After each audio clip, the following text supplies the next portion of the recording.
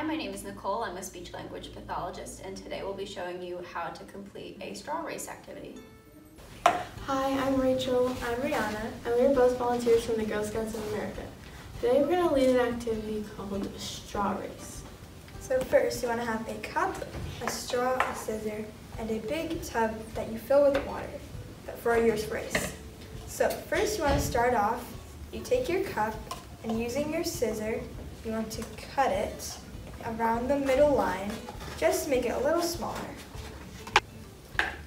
And it'll look like something like this kind of bowl shape. Yeah, a little smaller.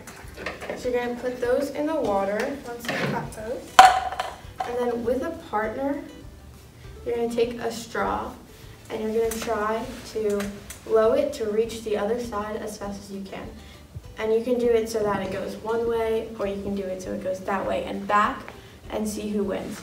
And then if you're by yourself, you can just time try to time yourself with a parrot there or some sort of device and time yourself to see how fast you can get it from there and back. So it'll look like this. So in this case, mine got there. She had a little trouble getting over there, yeah. but mine got there first, so then I would win. But you can do this as many times as you like, just trying to practice using uh, coordination, visual coordination, and yeah, have fun with it. Thank yeah. you. Bye. So from a speech therapy perspective, this activity would be great to work on different concepts such as fast versus slow to be able to describe the cups moving across the water. Uh, this is also a great activity to be working on um, turn taking, uh, my turn, your turn, going back and forth uh, throughout the activity as well.